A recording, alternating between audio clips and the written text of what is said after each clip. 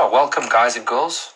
Um, very good to have you. I hope you're all dealing with this lockdown as productively as possible. And by that, I mean tying hundreds and hundreds of flies for destinations that we may yet uh, or may not yet be able to fish for months to come.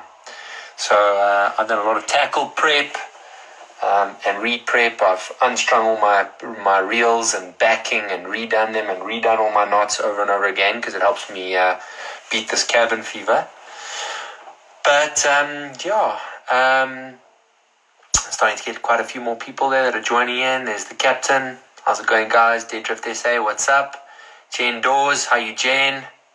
Good to see you all here. Okay.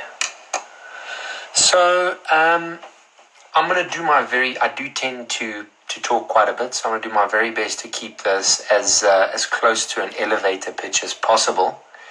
I'm going to strap uh, a pattern, and uh, I'm going to sort of scroll through this up and down intermittently to have a look of, of, of, at any of the questions that you uh, guys and girls may have posed. But um, we've got quite a few people on there, so I'm going to start chatting about this. Right. Um, the reason why we elected to choose the fi- the, the, the Tiger Clouser is because, um, first of all, it was suggested by a plethora of people on a poll that we ran this week. And also looking at um, the Tiger Talk groups and, and chatting to a lot of people and experts in the industry, it looks like that this season is going to be first of all, quite a late season. And as a result of the high rainfall early on, that points to the fact that we're going to have quite a productive fishing season on the Zambezi and the sort of um, the popular tiger fishing destinations towards the end of the year, which is a godsend for those that are usually uh, sort of preparing to go there now in the next couple of weeks as a result of the pandemic that we're currently dealing with. So that's good news for us all, and hopefully with that hope that uh, there's a, there could be a nice late season here. Um, we can start prepping accordingly. So, the Tiger Clouser um, is a broad brushstroke blanket term for a Clouser minnow variation that is aimed primarily at the tiger fish. So, I'm going to show you guys and girls some different tiger, sorry, some different Clouser patterns here to give you an idea of how the Tiger Clouser itself varies. And like I said at the beginning of the video, the Tiger Clouser is more a recipe than a specific uh, color combo. So here is a saltwater Clouser minnow that I have strapped. Um, the lighting there is not 100%, it's not terribly good. I don't know if you guys can have a look at that. It loses its colors if I come a little bit too close. So this is tied with uh, predominantly um, synthetic materials. It's dressed quite heavily, and um, this is tied to sort of imitate your fusiliers and your baitfish and uh, things like that that you'll find in the surf zone. Um, not to say that something like this won't work for tigerfish, but it's very different to some of the tiger patterns because being a more heavily dressed pattern, getting to depth or getting in the water column um, is not as much of a requirement as we would on a boat on the drift where you've got limited opportunities to sort of pepper your cast into likely looking holds and things like that. So I'm sorry to be holding my pattern there, but that seems to be where the lighting looks the very best. That's a good example of a saltwater, heavily dressed uh, Clouser pattern. Here's an exceptionally big Clouser pattern, which I'll show you guys over there. It's got mega eyes on it. This is a dredging pattern uh, for much bigger. Uh, yeah, I'll hold my cap over the fly. That's actually not a bad idea there. Thanks, the captain. That's for much bigger game fish and for dredging around bommies and off drop offs when fishing on the flats is not uh, what it's is not what it should be. So you can see that that's quite a heavily dressed pattern. Okay. And then here's another variant of a saltwater pattern. It's a more natural color. It's in anchovy. It's got a light bottom. It's got a dark overture on the on the top of the fly. Okay, again, quite a bit more heavily dressed than the more sparse tiger flies that we use in fish. And then finally, here's a smaller sort of intermediary pattern and the tried old chartreuse Clouser minnow, which a lot of people in the industry would uh, basically revere as the single greatest fly of all time. And I tend to agree with him.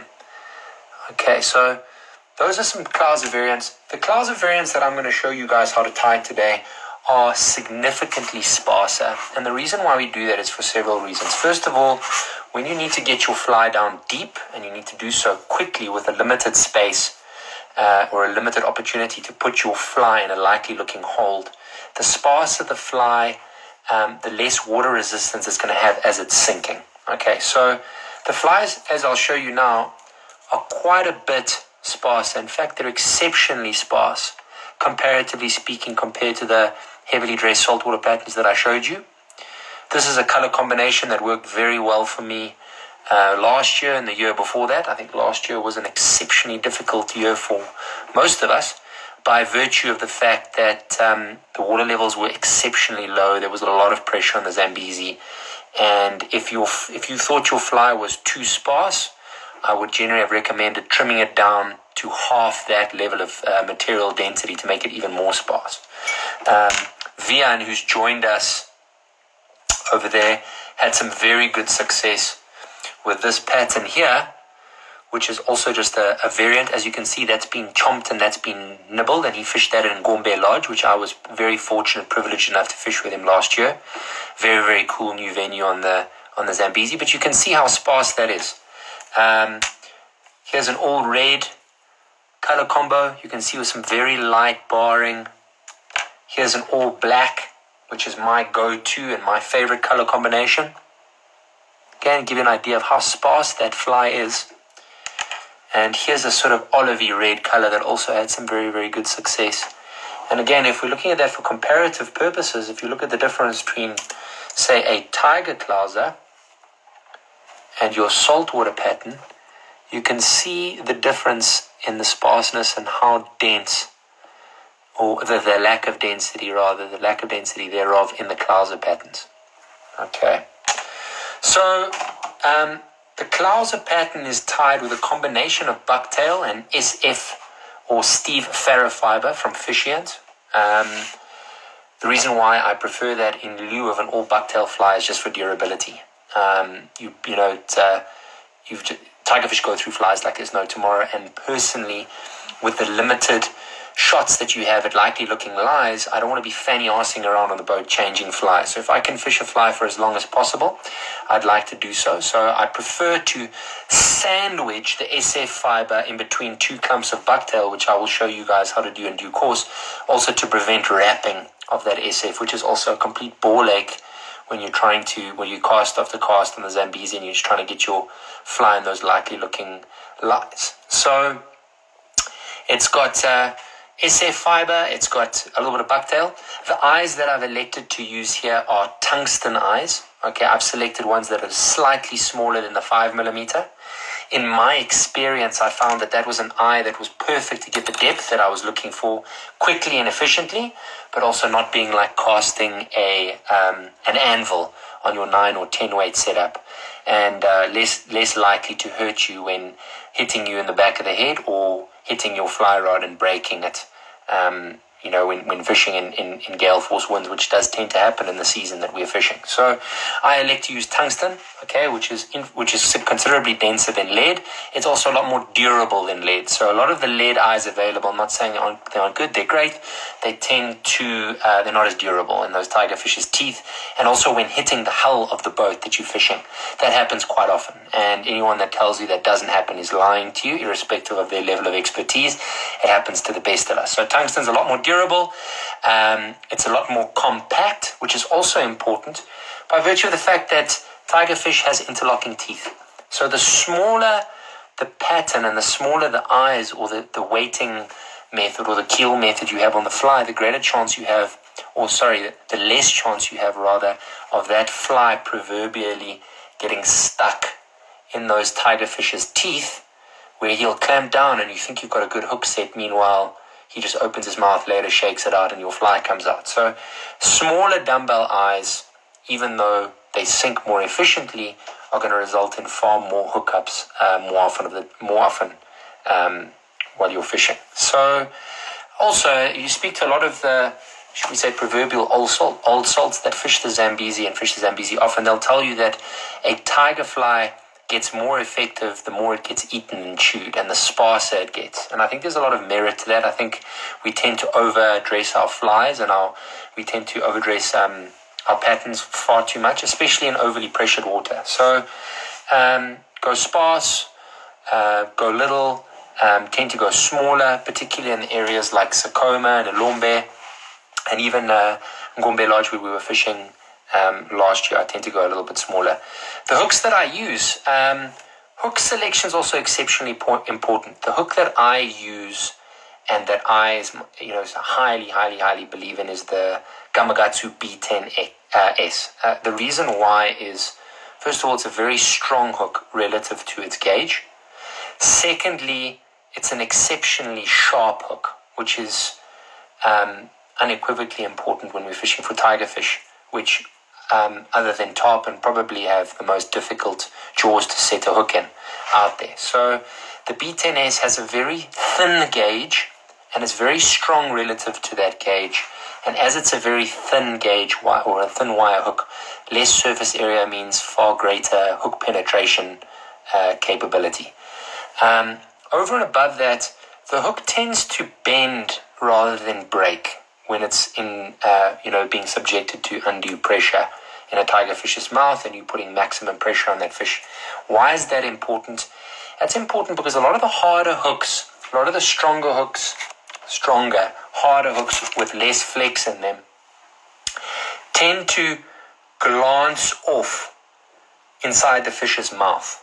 Okay, whereas a, a hook point that bends tends to bend into and drive uh, uh, far deeper uh, into a bony mouth. That's something that Francois Botha taught me um, when he asked me to strap him some Goliath tigerfish flies. Uh, the hooks that he actually wanted me to use were really out the box. I never personally would have, have, have selected those those hooks, but he wanted me to tie on Owner worm hooks, which is um, typically a bass hook. And that made no sense to me. But you know, when you're thinking about it logically, when that fish that its super hard mouth engulfs that fly, you want that hook to get as soon as it gets the tiniest amount of purchase, you want it to bend and bend in and drive into the bone in lieu of glancing off.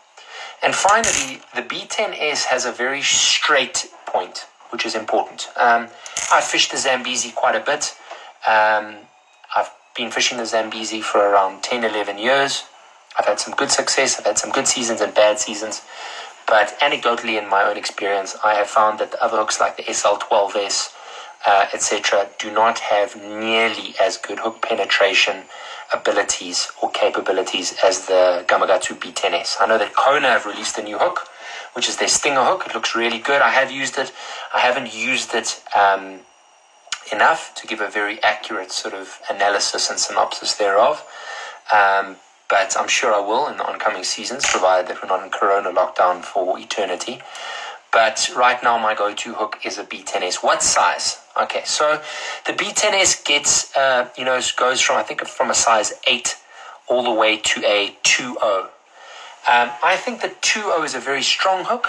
I've caught um, very big uh, Jack Crevalle in Belize up to 20, 25 pounds on that 2.0 hook, and I put maximum pressure on that, and they held up just fine. I just seem to uh, you know, obviously to try and uh, put all the odds in my favor as much as possible, I prefer a smaller hook.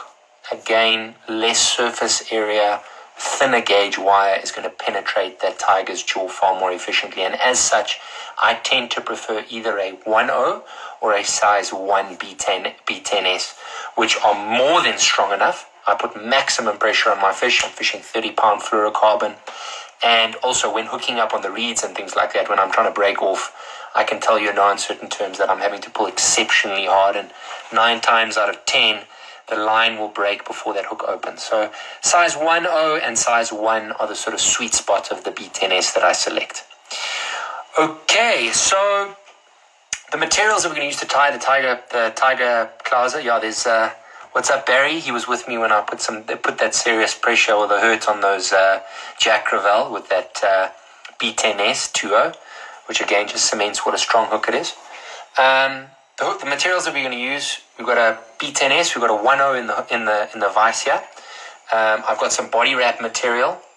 Uh, for all intents and purposes, I'm going to be tying with olive because the pattern that I am going to be tying, the color, the color combination of this pattern I'm going to be tying, is that little guy over there. Okay, so I've got some olive body wrap.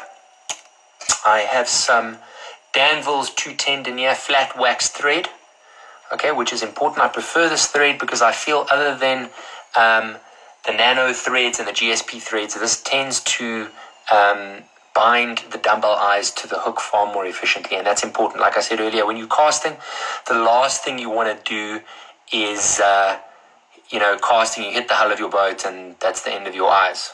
So it's very irritating. So flat waxed thread. I've got two different colored bucktails over here. I have black and I have chartreuse, which is a color that a lot of a lot of people or seasoned tiger anglers would probably turn their nose up and think, why is this chartreuse? And then I have this bleeding perch color of Steve Farrar blend. Okay, um, I don't add any flash to my tiger flies. Gareth Coombs of Sakoma and Ilombe Lodge tends to actually pick the flash out of his flies and his lures and his Afrojigs, and he seems to think that that makes them far more effective. And we're a seasoned angler who probably fished that river more than anyone else I know, if not ever, um, you know, tends to say something, and I'll, I'll listen. Okay, so yeah, I've got uh, the grip tungsten uh, dumbbell eyes, B10S hook. I've got some olive body wrap. You can use flash if you want to. You can use chenille. A lot of people nowadays don't even tie a body. Okay, I've got some Loctite super glue brush on gel. Now this is important. I prefer this to some of the other super glues because when this gets wet, it doesn't turn white. And I'm going to address the body with this to ensure um, durability in the long run. So I prefer the Loctite, okay, which I think is very important. And then I have some some Artline permanent markers. Now these are laundry markers, okay. So those in the know if you went to hostel and stuff like that, you wrote your name on your on your clothing. This stuff is probably the most durable. It doesn't really come out. They don't have a huge plethora of colors to choose from, but they are the most uh, um, they tend to to mark the most effectively and they don't wash out nearly as badly. I keep these on hand in the boat with me and I keep a couple colors. Okay, I've also got some green here in case I need to mark or remark the Clousers in due course with some of my other patterns. Right, so let's get started. I've obviously placed the hook in my vise. I'm going to attach my thread.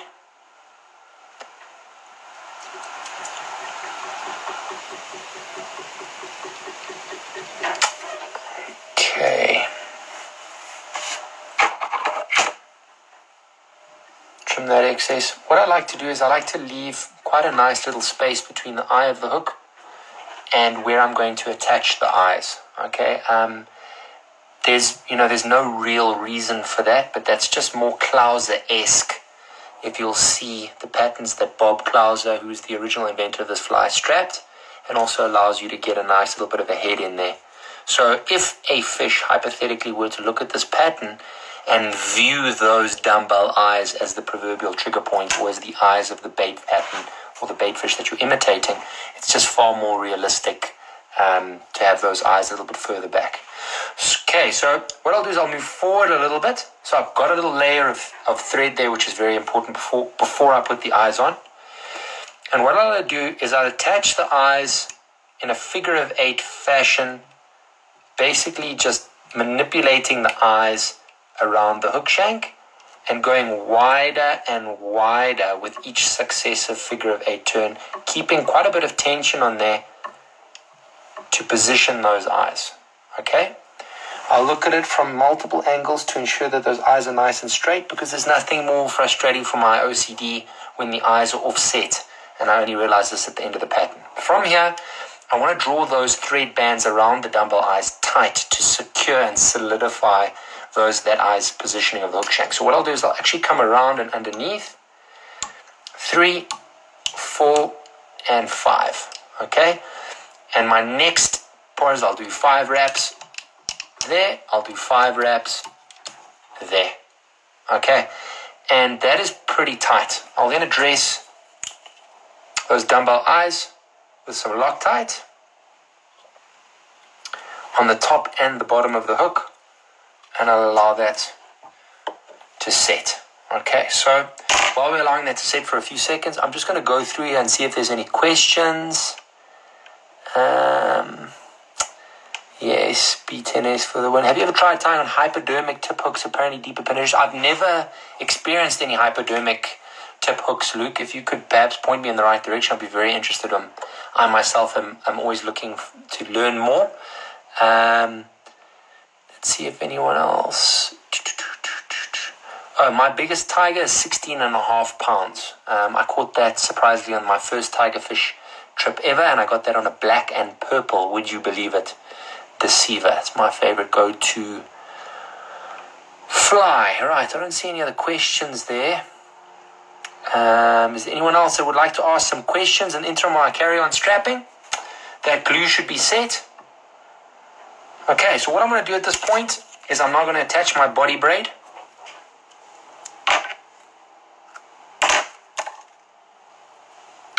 And what I'm going to do is I'm just going to position that over the top of the shank. I'm to trap that down. And I'm going to wrap forward. And I'm going to stop just prior to the hook point. Okay, as I said, I want to make this fly sparse. I don't want to overly dress it. And I'm then going to move my thread back to in front of the eyes. Okay? From here, applying some decent tension, I'm going to wrap my body braid forward and I'm going to ensure that I do so with turns right up nice and tight to one another.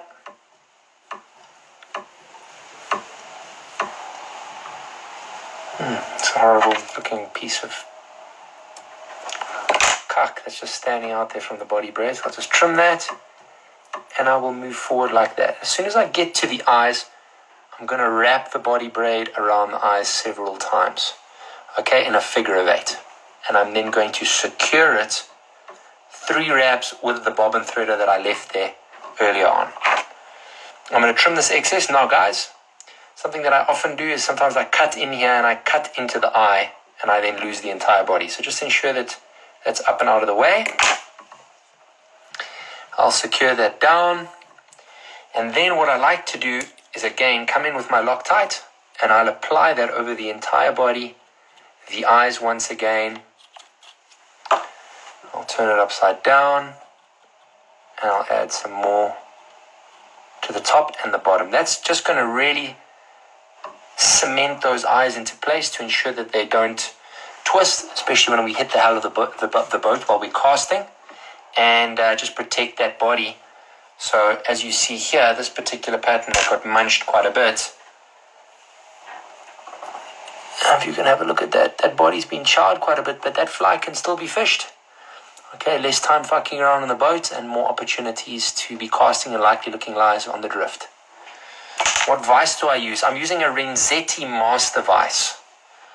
Okay, which is quite a decent vice. And um, yeah, any other questions that you guys want to ask? I'm just waiting for this this uh, Loctite to set.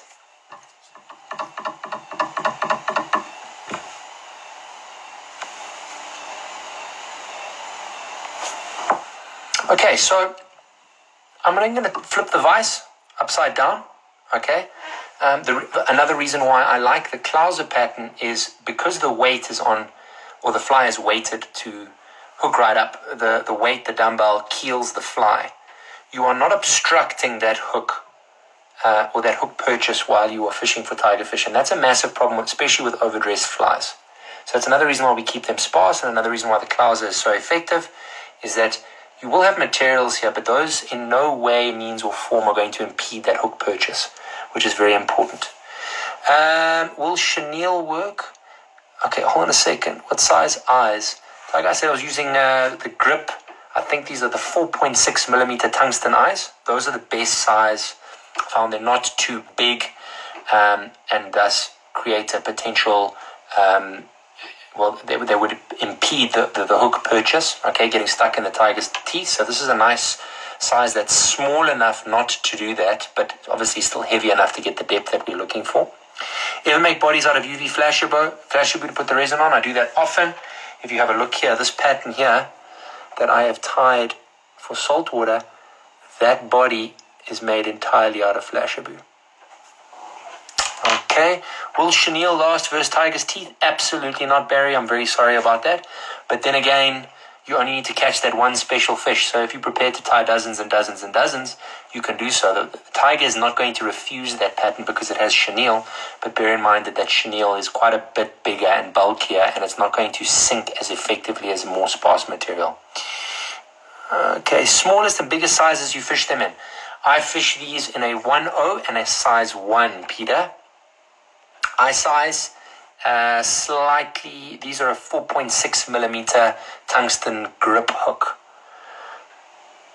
Okay, I prefer super glue um, because the super glue is quite a bit stronger and the Loctite tends to soak into the materials far more efficiently.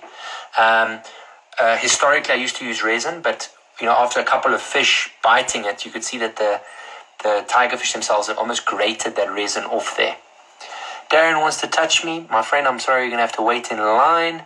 Tiger's mom has already booked first right of refusal.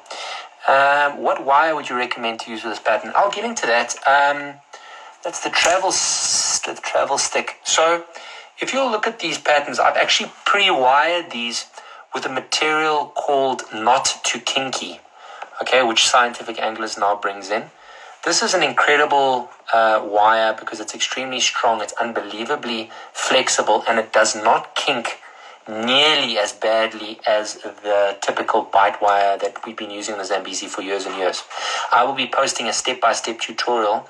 As you can see, I use crimps here to attach that, and I once again crimp a very small swivel onto the end there. And um, this can with handle many, many different tiger fish. It's got a 35 pound breaking strain. It's extre- extremely thin diameter. It doesn't flash nearly as badly as some of the other wires. It's not as thick as that Rio knottable rope. And because I'm using crimps, I have a very small, very neat setup. But I will touch base on that. That's a whole other discussion and, and step by step. Why don't you like bass? You have you heard they think they toilet? As if what? Luke, I have absolutely no idea what you're talking about. There's Rue, what's up, Rue? There's Jari, how you doing, guys? Okay, and that's a very good question there from Mr. Ratty Fishers. Where did you learn about the not too kinky and sleeves? My good friend Andrew Rattray and another good friend of mine, Ryan French, actually um, introduced me to this pattern. I've done a few alterations and I've modified it. And as uh, and Andrew will tell you yourself, I've completely over-engineered this unnecessarily to make um, the trace that I have here. But it's an unbelievably smart trace, and in lieu of tying your flies on and off, you clip them on and off with a Rio um, Fastach clip or a Mustad Fastach uh, clip, which I'll talk about. Anyway, back to this pattern. So we've got the body in, we've attached the eyes, that super glue has, has dried. Now, what I said earlier is that I like to sandwich SF fiber uh, in between two sort of clumps of bucktail. That's far more durable, and in, in so doing, will prevent this fly wrapping, which is a complete and utter ball ache um, when you're on the Zambezi. So, the first thing that I'm going to do, I'm going to get some chartreuse because most bait fish are lighter on the bottom and they're darker on the top. I don't have any of that gorgeous primo bucktail that Rupert and Jari have, so I'm going to have to select some of this toilet. Select a nice little clump there. Now, this year and this season, the water levels are looking significantly more productive and uh, than they were last year. Last year we had a terrible dry season, and that's why we went so sparse. So this particular pattern, although still sparse by Clouser standards, is going to be slightly bulkier than the patterns that we used last year. So what I've done is I've cut a little piece of bucktail and I want to make sure that they're all more or less the same length. So what I'll do is I'll come in there and I will just pull out some of the longer pieces to make sure that they are uniform. And then I will do that once again from the other side get rid of some of those stragglers. Okay, so I have a, a more sort of uniform clump of bucktail, which has got. Try and move this light so you guys can see this more efficiently. It's got a more uniform sort of base. Right, what I'm going to do is I'm going to tie this in. Whenever I tie my tiger Clousers, I like to look at my fly from the top to make sure that they are tied equally over the top of the hook shank. Okay, and this first clump is going to be approximately twice the length, if not a little bit shorter than the shank of the hook. And I'm going to secure it with a couple wraps. And I don't want to tie it too tight because I don't want that bucktail to flare unnecessarily. Now, when I trim, I want to ensure that uh, the bucktail doesn't impede the hook eye, okay, because that's a ball ache when you are finishing off the fly. So I lay my scissors, I hold the tag end up and I lay my scissors flat against the eye at a slight diagonal angle and I trim it like that. Okay. Now what I'm going to do is I'm actually going to take my black permanent marker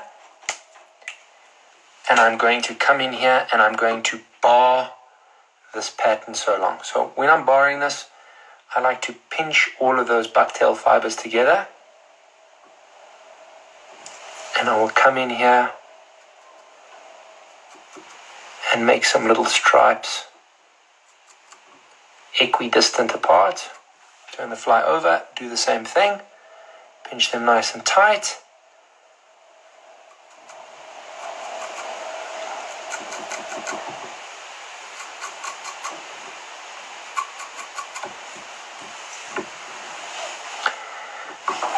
Right. That's our bucktail. I'm now going to attach, attach my Steve Farrar blend. Okay. Um, this is one of my favorite colors for tigers.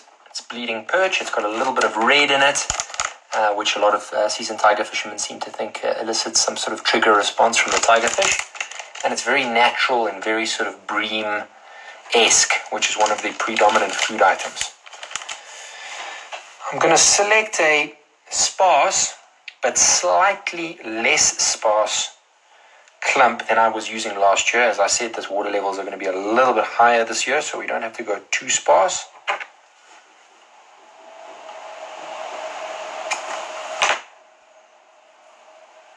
Okay.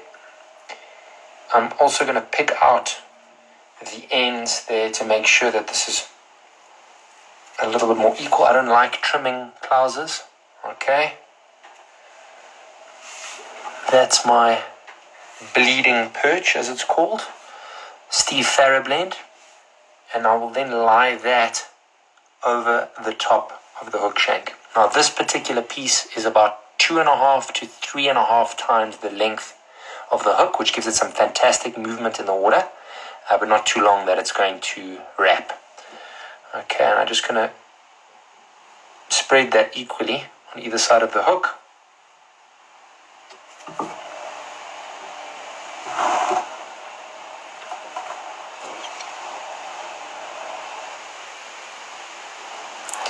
Tie that down. And in exactly the same fashion that I did earlier, I'm going to come up, take that tag end, lay my hook against the hook, uh, my scissors against the hook eye, and trim that. So that's up and out of the way. Okay, so what you can see is that chartreuse is actually starting to blend in there nicely. It's not as fluorescent whereas porno some of the other chartreuse flies. It just adds a nice sort of subtle underbody to this otherwise olive pattern. Okay, now to finish off this pattern, I've got black uh, bucktail, which is pretty much like straw. Okay, absolute garbage. It's not like the stuff that Roo and Jari use. So what I like to do is I actually like to come onto the back of the material and I select the slightly softer stuff. Now this stuff doesn't have to be too long, okay, for the top portion, because again, this is merely acting as a slightly dark overbody, but that final sandwiched bucktail to compress the SF and prevent it from wrapping while we're fishing.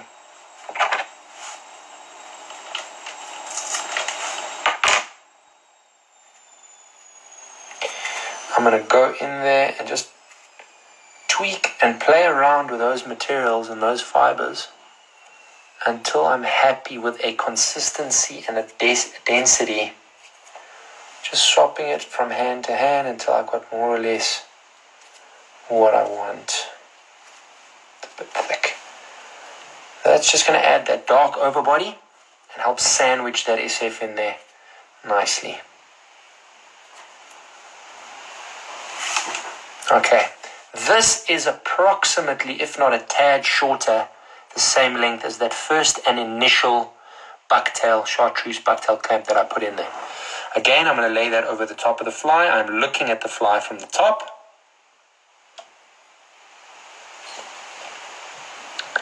And I'm going to tie it in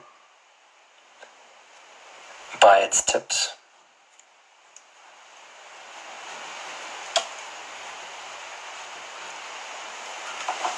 As such.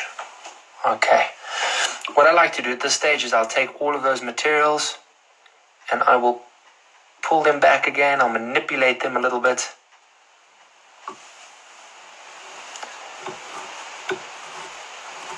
Just get them to blend in there a little bit. Alright.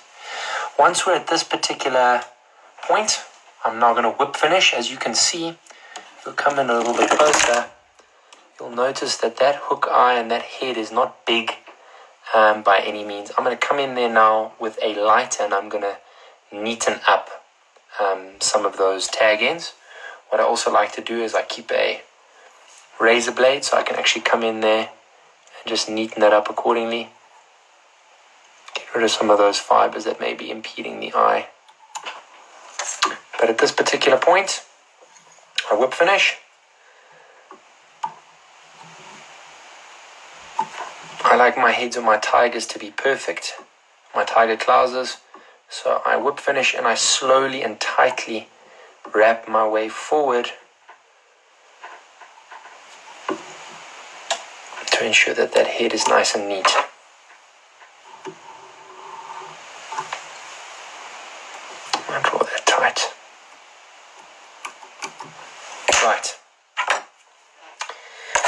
At this particular point, I have a lighter and I will just lightly come forward and just get rid of all those loose tag ends that would otherwise be distorting a nice head of the fly. I come again with my black marker and I just simply, because this tends to soak into the thread, so apply very light uh, strokes. If you push too hard into this, you're going to have a completely black head, and that's not going to um, that's not going to be commensurate with the color scheme and flow of the fly that we're looking for. So I'm just going to apply a little bit of a light, very light. Okay, and you'll see there, that's the color combo that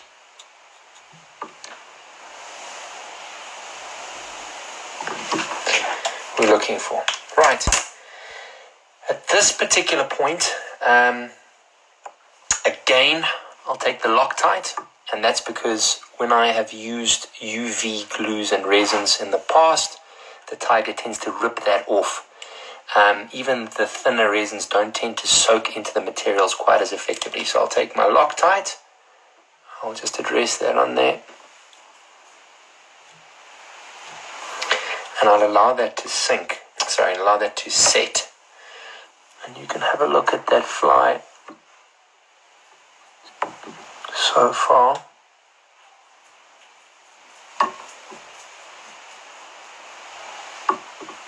Okay, and what I like to do is you'll see that those bars that I applied there are very subtle. They're not overbearing. Okay, I like to take my red permanent marker, which is also outlined, and I give it just a tiny little bit of gill flash behind the eyes. And what I'll do is I will take this and I will dress it from behind the eye to the first bar that I made with the black permanent marker.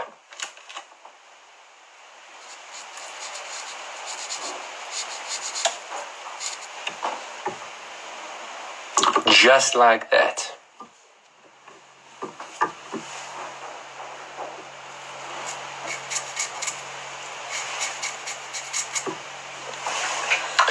Okay, looking at this particular pattern, I think I can I think I was a little bit too light-handed with the permanent marker to begin with. And I'll come through here and I will lightly go over the marks that I, I made earlier.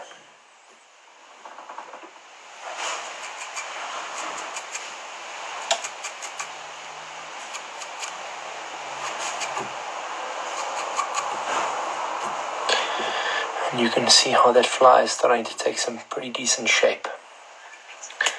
I'm going to go over one more time with the red. The stuff doesn't set as nicely in the naturals as it does in the synthetics. That's why I carry these permanent markers with me. And every sort of 30 or 40 casts, I just uh, reapply.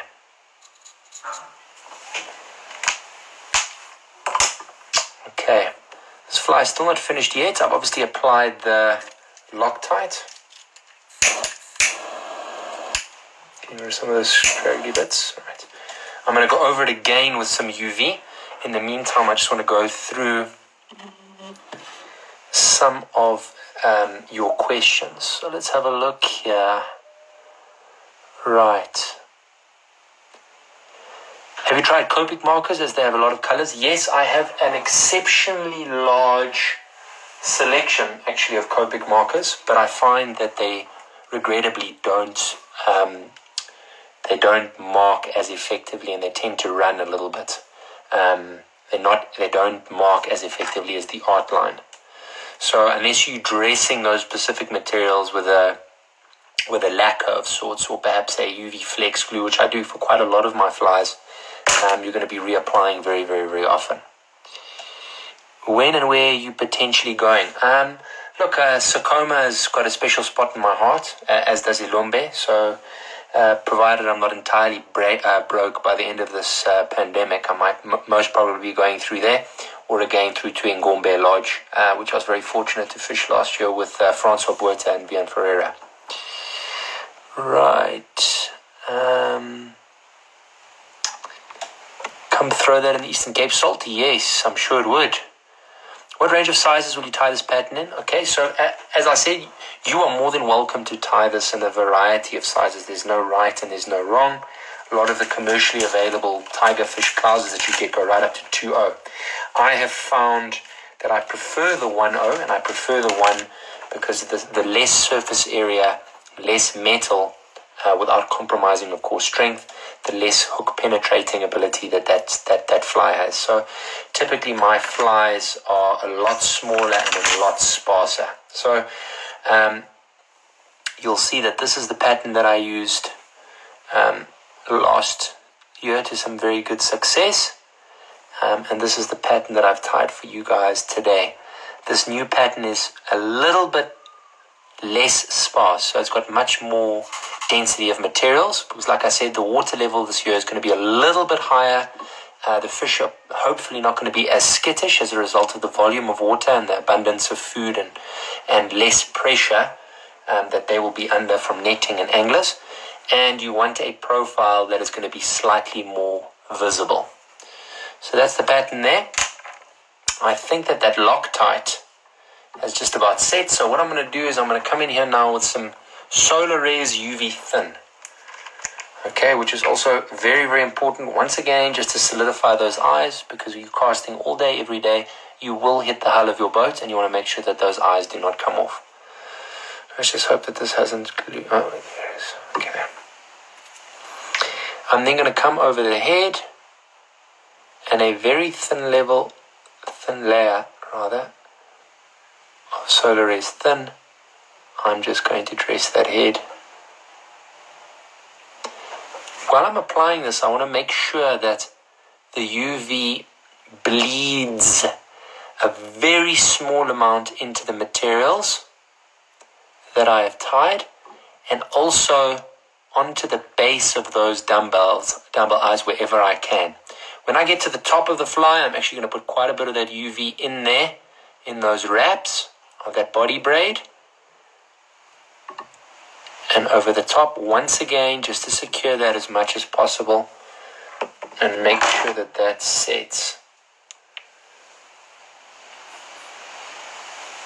Okay, I'm going to give you guys a close-up now. Do I always use silver eyes? I don't, Josh. Um, I'm using silver eyes in this particular pattern because this chartreusey green red color I tend to use in brighter conditions. Um, when it's overcast, uh, I generally tend to go by the truism darker flies, uh, darker conditions. So um, I will use this color in lieu thereof. It's the same size, but on my darker patterns, I tend to use that in lieu of the silver.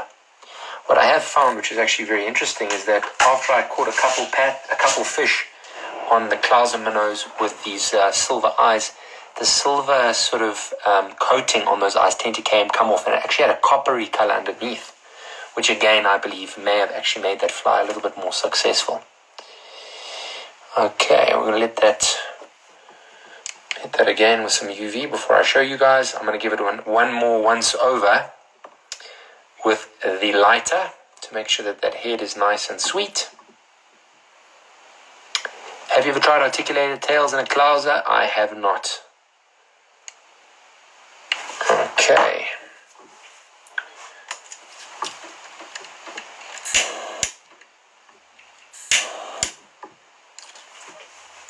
And that there is one of my go-to patterns on the Zambezi in brighter conditions. And I'll show you guys what that looks like there. You can see the two pieces of bucktail that will actually go in there and they will sandwich that SF fiber in there. Okay.